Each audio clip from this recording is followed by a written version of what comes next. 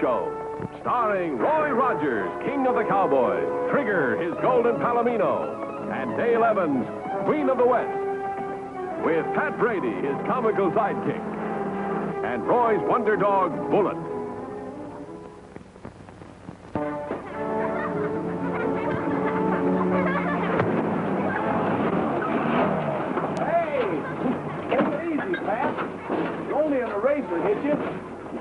Liable to get arrested for reckless driving. Well, of all the cotton-picking things, you did the same thing when you were a kid. Let's go and see what's going on in that schoolhouse. Yeah.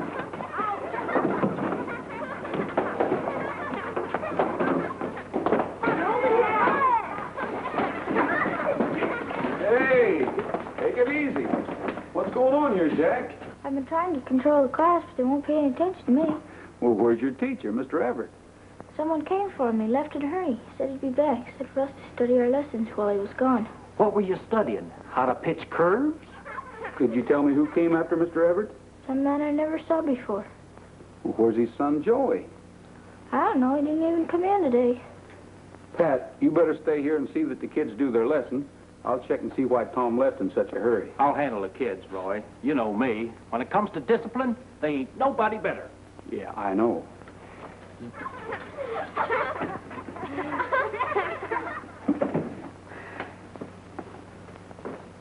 All you kids just keep simmered down and study hard. Anything you don't understand in them school books, you just ask me. What's square root of 81, Mr. Brady? Square root of 81. I think somebody's pulling my leg. There Ain't no square roots. Only round ones.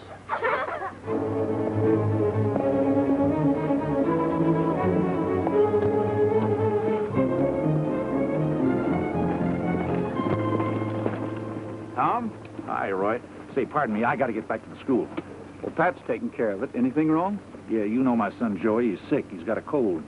Helen got excited, so she thought he was taking a turn for the worse and sent for me. Well, how is the boy? Oh, you know my wife. Like all women, she worries too much. Joey's going to be okay.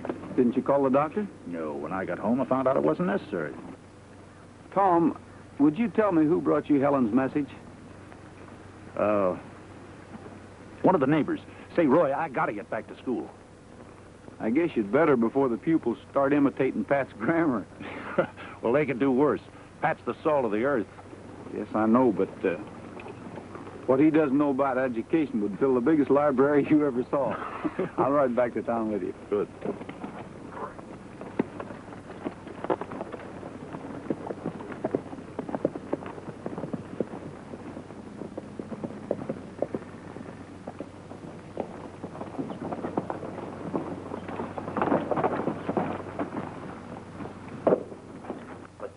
Bother old Daniel Boone?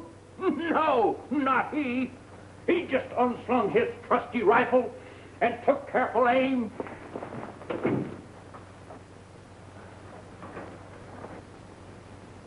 Oh, hi, Tom, Roy. I was just giving the class a history lesson.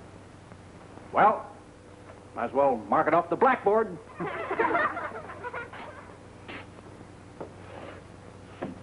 Yes, sir. Uh, me and the students went through geography, science, fractions, history. You made a fine substitute teacher, Pat. Thank you, Tom. Anytime, anytime at all.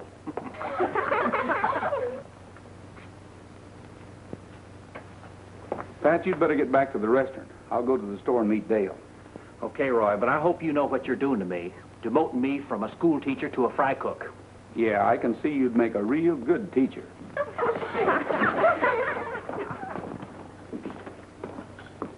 What in the world's going on here? I finally went into business for myself. I'm going to be a ventril, uh, a ventril. Ventriloquist? That's right. How are you going to be it when you can't even say it? It tells me all I got to know right here in this book, and it only cost me ten dollars. Cash? Yes. Oh, Pat. He'll never learn.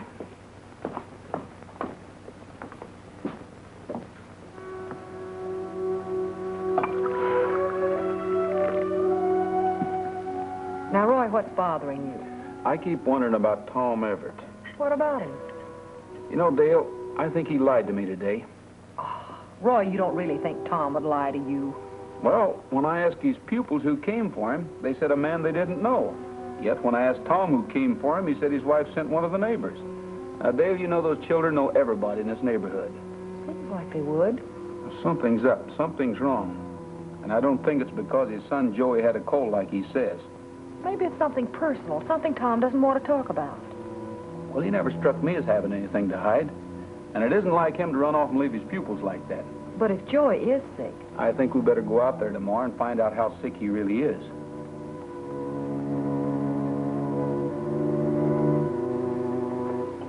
Some hot coffee. I don't think I have time for it, Helen. Incidentally, where's my brother Steve? Still sleeping, I guess. How long will he be here? I don't know. I wish he'd leave tomorrow. Well, he's your older brother and head of the family, but I know, I know. He worries me, too. I never was at ease with him. But we're the only family he has, so we might as well put up with him for a while. Joey's crazy about him already. He told him some tall tales last night. Yeah, that's night. the trouble. See, Steve's got a lot of charm when he wants to turn it on. It's all the wrong kind. Well, leave Joey in bed today. He should be able to get up tomorrow. Ah, morning. Hello, Steve. I didn't know you were up. Where you been? Oh, just out looking over the property. Thought I'd work up an appetite. Where's my nephew? In bed. I'll fix you some breakfast. You know, Tom, sometimes I get the idea that wife of yours don't like me at all. Well, I, I have to get off to school. Uh, Tom, don't forget what I said. Uh, we don't want to let on to anybody that I'm here. Well, I still don't understand why, Uh, because... that's my business. Look, I'll be pulling out for long. Meantime, I, I want privacy and lots of it. You understand that, don't you? Yeah.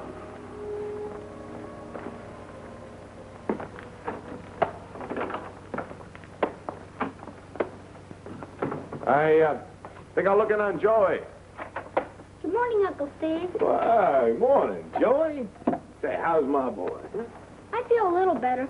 I don't think Mom ought to keep me in bed. Ah, none of that kind of talk. Now, you do what your ma tells you.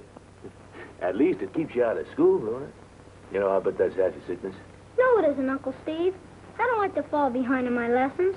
Well, with your old pa being a teacher, I, I don't see you got much to worry about.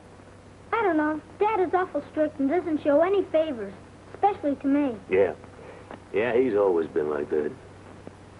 Tell you what, Joey. Why don't we forget that sort of thing, and as soon as I have my breakfast, we'll sit down to a rip-roaring game of checkers, huh? That would be swell. Your breakfast on, Steve. Yeah. Thanks. See you later, kid.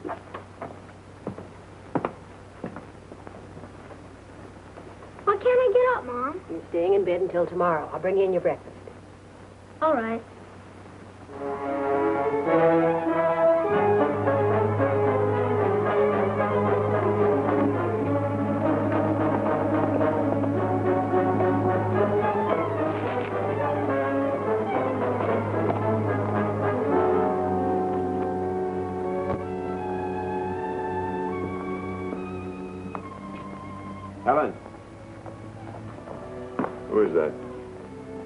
Roy Rogers and Dale Evans. Why? I don't want them to know I'm here. Look, I'm going back in Joey's room. You uh, don't let on.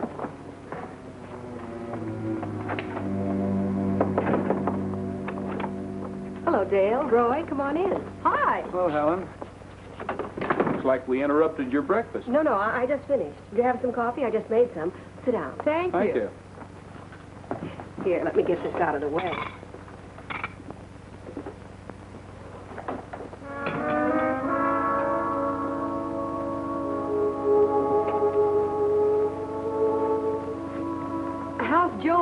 He's fine. He'll be out of bed tomorrow. Good. Uh, looks like Bullet wants to go in and visit him. I don't think that's a good idea. Oh?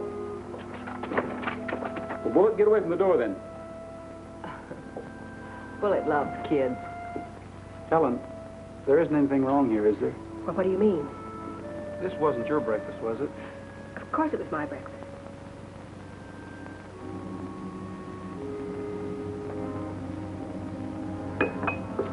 Well, I guess we'd better be running along. Thanks for the coffee. You know, Helen, we like you and Tom. We'd do anything in the world to help. So if you need help, just holler. Thanks.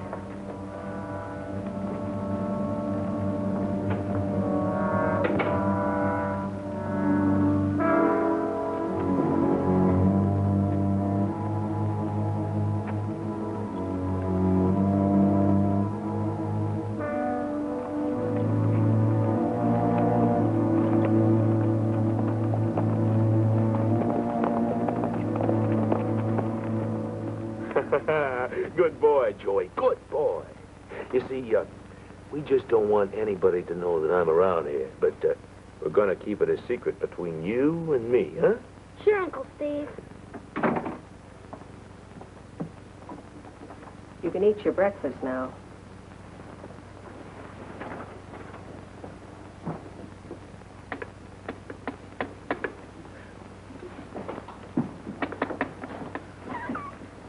Hey, I got it. Now just listen to this. How you feeling today, Cubby? Never felt better in a month of Sunday. Oh, Pat, you're not throwing your voice any further than you can throw an elephant. What? What are you doing playing with that doll? Oh, now, Roy. What's the matter with you? The Everett family. We just saw Helen, and I think there's somebody hiding in their house. They're in trouble, and they won't let us help them. Well, things like that come out sooner or later. Well, that's it. It might be too late. Hey,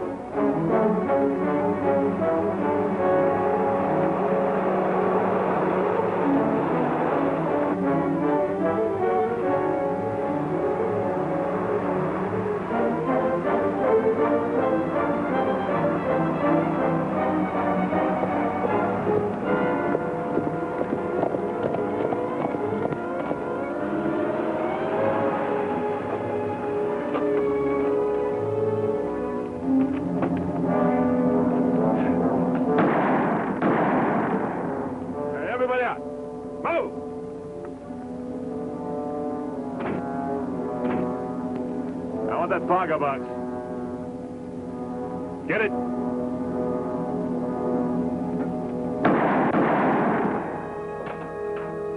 Are you want to try any tricks, mister? All right, get that box. Hurry up.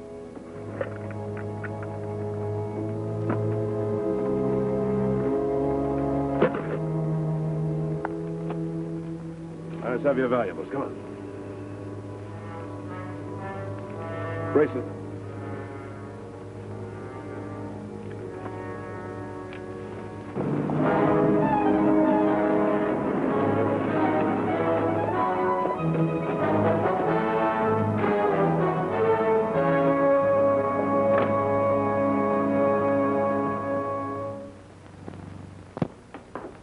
Roy, I need your help. What's up, Sheriff? Stage was held up below Boulder Point, and Jimmy the driver was killed. The outlaw got away with the Wells Fargo strong box and the passengers' money and valuables.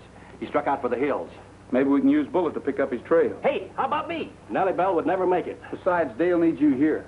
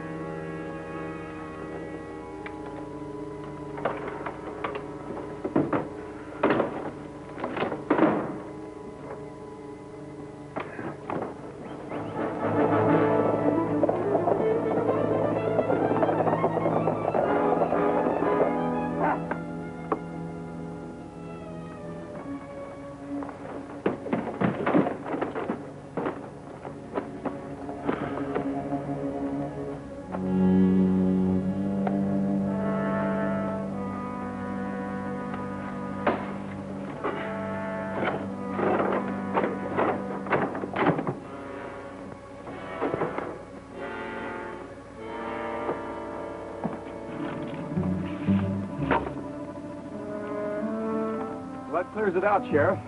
Let's see if we can pick up his trail. All right.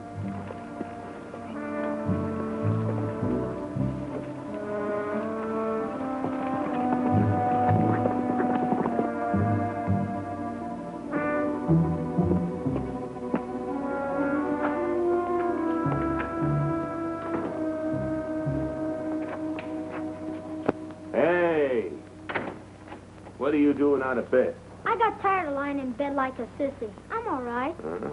Where's your ma? Took a buggy into town to get some groceries. Said she might ride home with Dad after school. Yeah, so you're taking advantage, huh? Well, I got a good idea for you. Why don't you trot back in the bedroom and you and me will play another game of checkers, huh? Okay. Go on.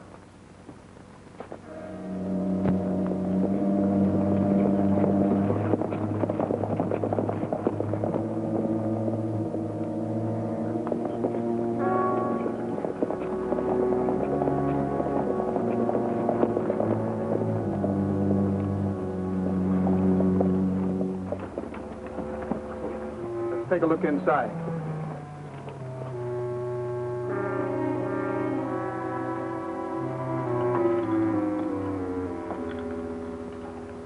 Well, there's one of Tom Everett's saddles. Yeah. Well, but the initials on it are S.E.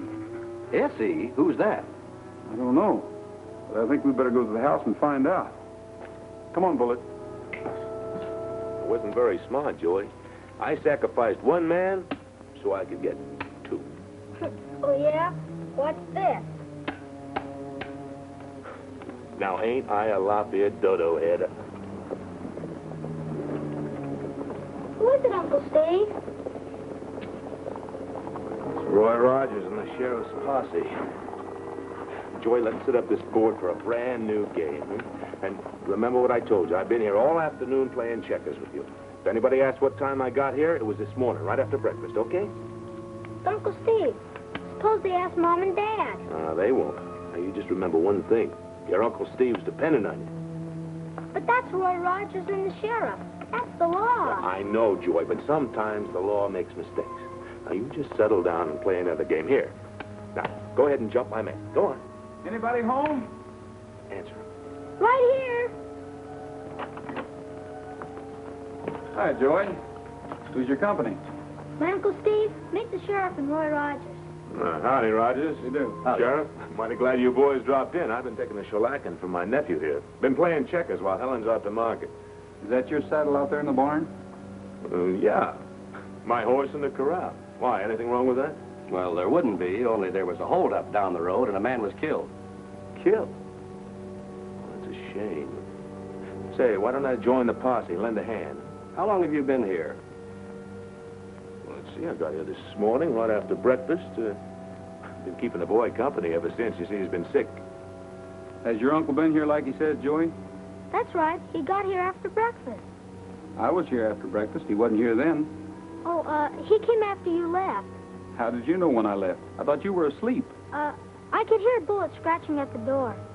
Could you hear Bullet's scratching too? Look, I don't know who Bullet is, and I don't know what you're talking about, but if you don't want to take my word or the boys, why don't you wait for Helen? She'll tell you the same thing. Well, it looks like he's got a pretty good alibi, Roy. Let's get going. All right, Sheriff. Bullet does follow the wrong trail once in a while. I guess I'll have to take him back home and give him a good talking to. So long, Joey. Be seeing you.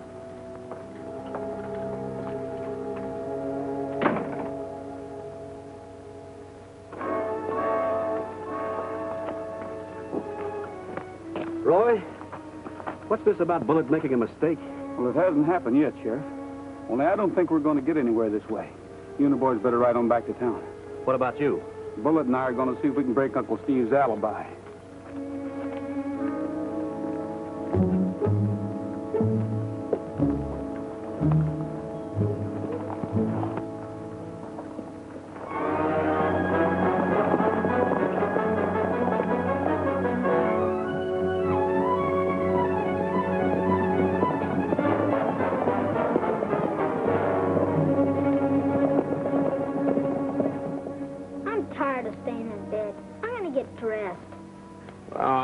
Blame you, Joey. Why don't you go ahead and do it, but uh, be sure you stay in the house, huh?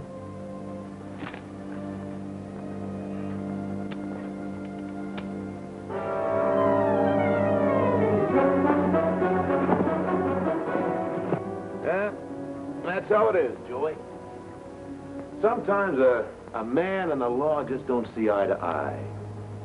Oh, it ain't that the man's an outlaw or anything like that. It, it's just if you follow the strict letter of the law, you ain't a man at all. You're more of a, a well, like you say, a sissy.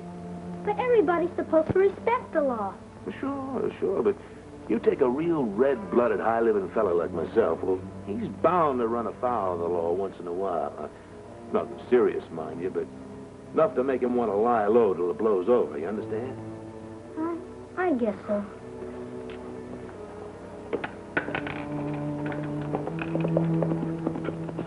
Uncle Steve.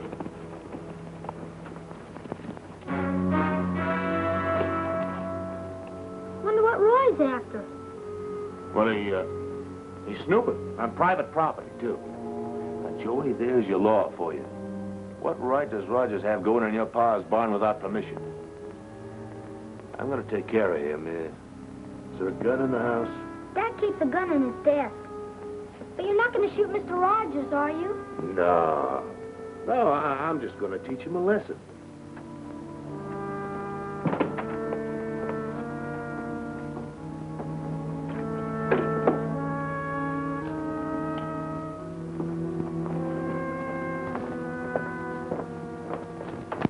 Find something, Bullet?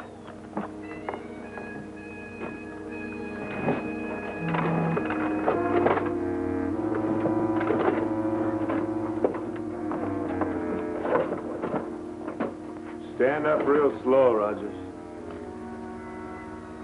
Your hands higher and turn around. You couldn't mind your own business, huh? You had to come back and snoop. You take a good look, because you're not going to leave this bar.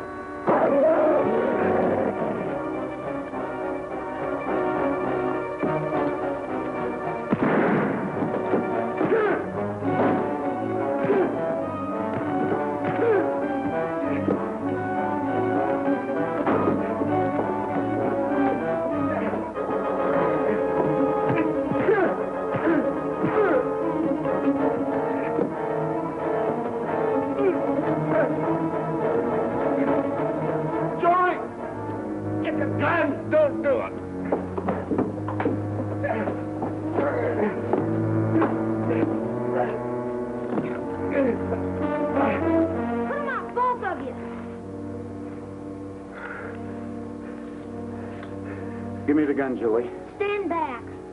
You're not going to take your uncle's side. He's a murderer. Don't listen to him, Joey. Look, I am your uncle. You can't turn me in. Uncle or not, you have to uphold the law. No, Joey. No, you just hold Rogers here. Keep him covered, huh? Keep him covered until I can saddle my horse and get away. You're not running away, Uncle Steve, are you? Sure he is. He's a coward. Like all outlaws when they're cornered. Drop the gun, Joey. You rotten little renegade. Turn it on your own flesh and blood. You got a lot of your pa's blood in you. You're nothing but a sniveling, mush-hearted sissy. I'm proud to have my father's blood in me. Good boy, Joey. You just learned a lesson you'll never forget. Outside. Bullet, keep an eye on that strong box.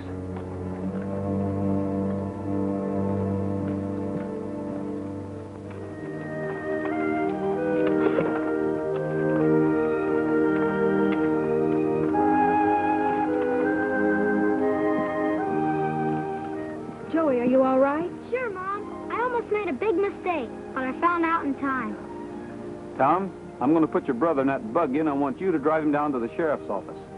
I'm glad it's all over, Roy. Well, if you'd have told me about it sooner, I might have... I know. Maybe Steve wouldn't have held up the coach and the driver'd be alive today. That's right. But at least Joey here found out that there's the wrong kind of hero worship, and that his father, the school teacher's a much better man than his uncle, the outlaw. Get in the buggy. Watch him, Tom. I'll gather up the loot and follow you on Trigger. Quiet, quiet, quiet. Now, throwing your voice is a real ancient art, and you got to be born with a lip for it, like me. This ought to be good.